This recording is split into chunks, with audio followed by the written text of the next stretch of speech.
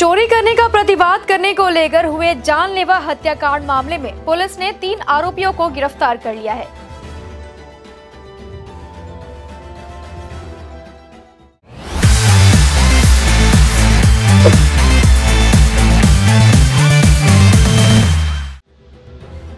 बीते कल प्रधाननगर थाने की सादे पोशाक की पुलिस ने कुछ बिहार के पूर्णिवाड़ी इलाके से तीन लोगों को गिरफ़्तार किया।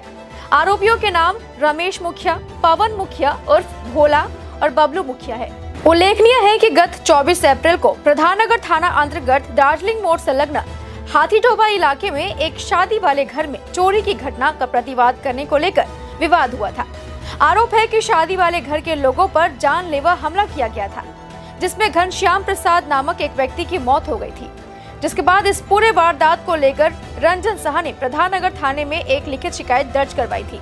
जिसके बाद मामले की जाँच करते हुए प्रधाननगर थाने की पुलिस ने पहले इस वारदात में शामिल पूना मुखिया को गिरफ़्तार किया, लेकिन बाकी के आरोपी फरार थे। मामले की जाँच करते हुए प्रधाननगर थाने की पुलिस ने बीते कल कुछ बिहार के पूर्णिवाड़ी से बाकी तीन आरोपियों को गिरफ़्तार कर सिलीगुड़ी अदालत ले आई।